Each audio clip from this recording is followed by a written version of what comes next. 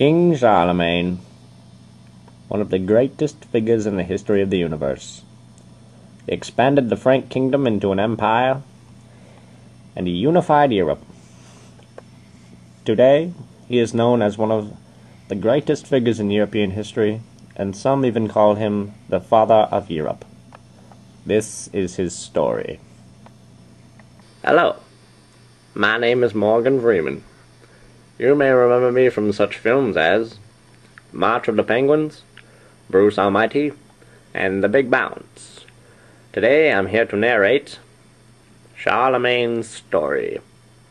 Let's begin. To the Batmobile. Let's go. Atomic batteries to power. Turbines to speed. Roger. Ready to move out.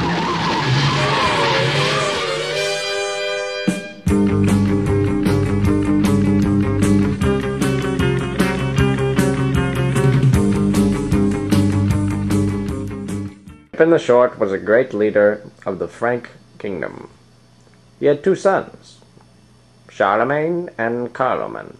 One day he unexpectedly died in the hands of his son Charlemagne. No! Charlemagne and his brother were now in competition for the keys to the kingdom.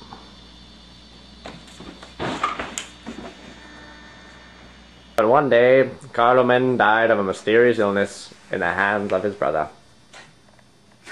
This left Charlemagne the entirety of his father's kingdom. Now, the, the death of Carloman, uh, it, it kind of opened the door for, for Charlemagne to establish his empire and uh, kind of enforce his way of rule. And, you know, for the longest time, he, he sided with the Pope, and this led the Pope to uh, give Charlemagne uh, some a great deal of power, which is basically unprecedented in the history of the world. So, I don't know. Charlemagne was set up for, for great things, and, and great things he indeed did do. Charlemagne used the full extent of his powers to destroy his enemies. Italy,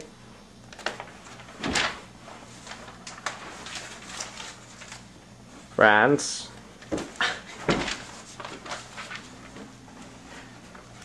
Germany,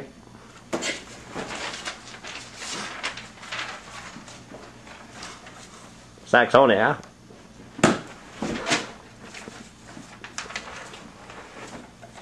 and others.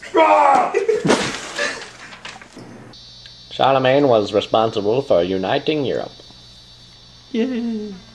Now, as, uh, as Charlemagne started conquering Europe, um, he imposed a, a death penalty on those who refused to be baptized, and you know that that went over slightly well. Uh, but then came the massacre of Verdun. What a horrible thing! You Saxonians, you need to be part of Christianity. You need to be baptized. No. Ah! What are you doing? How dare you resist me? I'm gonna light y'all on fire. Charlemagne then set fire to the city of Verdun.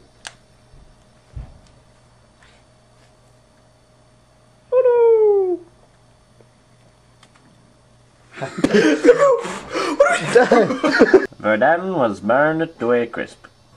After the massacre of Verdun, Charlemagne engaged in a bloody conflict with the Saxons.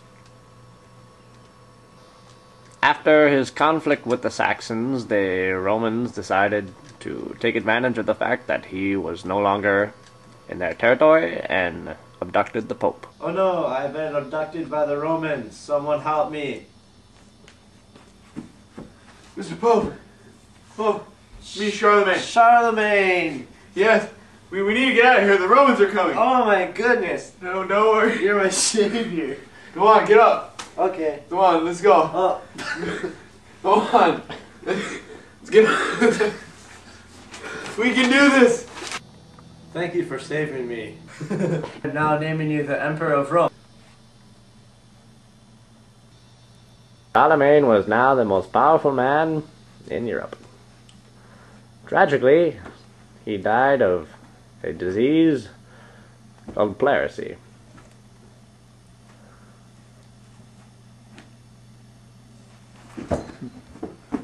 Ironically, he was buried on the same day of his death.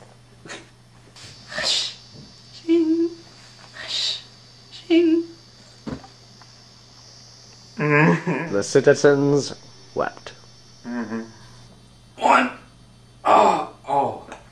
I'll do this later. Just setting up on my Charlemagne while I worked worked on my Megan Green machines. Charlemagne created many monetary, education, church, and writing reforms. He abandoned the gold standard. He pursued the gold sou, started by his father, Pepin the Short. It consisted of shillings, pounds, and pennies. Ah, I love tea. He increased the provision of many monetaristic schools. Charlemagne basically had the great manly features I've always wanted. He did, but I don't know, he didn't coach freshman year soccer, and that's one of my biggest accomplishments, but he did do many great, great things. And, and all in all, I love Charlemagne. In the end, Charlemagne was best known for unifying Europe, spreading Christianity, and being named emperor by Pope Leo. This has been another documentation by me, Morgan Freeman.